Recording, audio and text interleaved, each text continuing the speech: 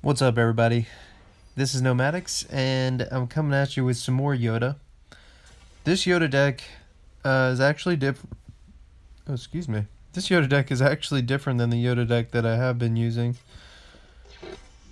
So, I'm just going to run in here and try and take care of this tank. Then I'm going to back out, and he's going to run in. If he dies, that's really bad for him. So I'm going to run in here. I want to tank for the turret because Mace Windu does tons of damage and he's really fast. So I'm going to tank this. I'm going to play my Partisan and I'm going to get the turret and then I'm going to play my Twi'leks just because I'm trying to cycle as quickly as possible, get some cards down, make him scared, and hopefully force him to react. Uh, so he's trying to rocket trooper my other side, but that's not going to work because I'm paying attention.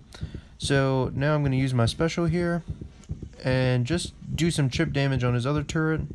Seven Sister really got a pretty severe nerf uh, in that last that last patch.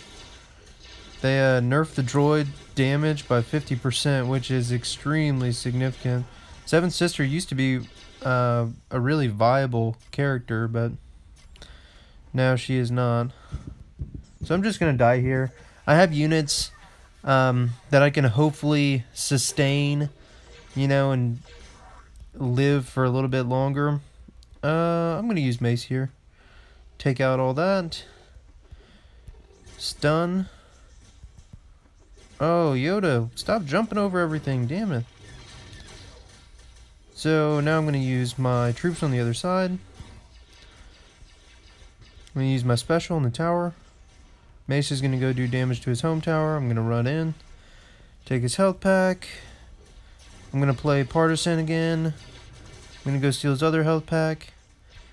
Then I'm going to come in, stun him. And, yeah, well, I was trying to get something off on the other side because I knew, I figured he would rocket trooper, but I, uh, I didn't do it in enough time, so that was a mistake on my part. But I think it's going to work out either way. He's got to do something about this push. He can't just ignore it. And now that the droids are like a lot less scary, there's just not really a whole lot that I'm worried about. Mace is probably going to get to the tower, maybe. Stun him. Yeah, good game.